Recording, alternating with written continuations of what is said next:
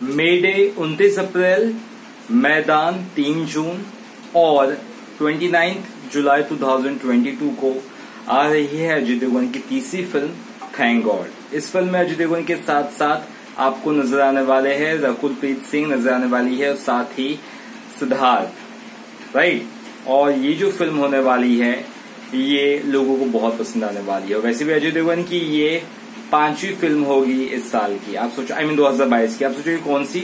सबसे पहले उनका रोल आपको देखने को मिलेगा किस फ़िल्म में? जी हाँ दोस्तों, वो आरआरआर में देखने को मिलेगा। और कहा जाता है कि आरआर में उनका आठ से दस मिनट का रोल है। फिर गंगूबाई काठियावाड़ी अठारह फरवरी को आएगी, जहाँ पे अजय देवगन का बीस मिनट के ऊपर तक का रोल है, कहा जा रहा है।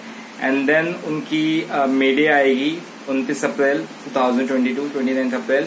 And then third June को मैदान आएगी फ़िल्म बहुत बड़ी फ़िल्म है, Maidaan third June and now twenty ninth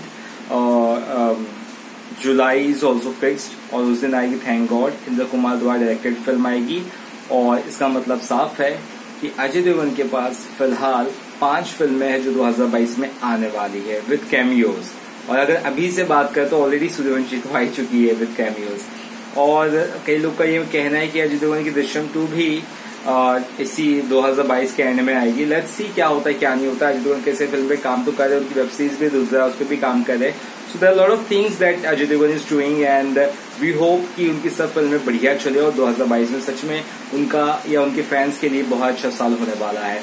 और दोस्तों, इस खबर को बताने मैंने काफ़ी लेट कर दी, उसके लिए मुझे माफ़ी मैं माफ़ी मांगना चाहता हूँ क्योंकि मैं बहुत ज़्यादा व्यस्त था, लेकिन हाँ ये खबर मुझे दोपहर से जब से पता थी तो सोचा आप लोगों के लिए वीडियो बनाओ जल्द से जल्द, लेकिन मुझे फुर्सत मिली तो आधी रात को। एनीवेज आई होप आपको वीडियो अच्छा लगा हो। वीडियो अच्छा लगा तो चैनल को सब्सक्राइब करना ना भूलिएगा। Love you all bye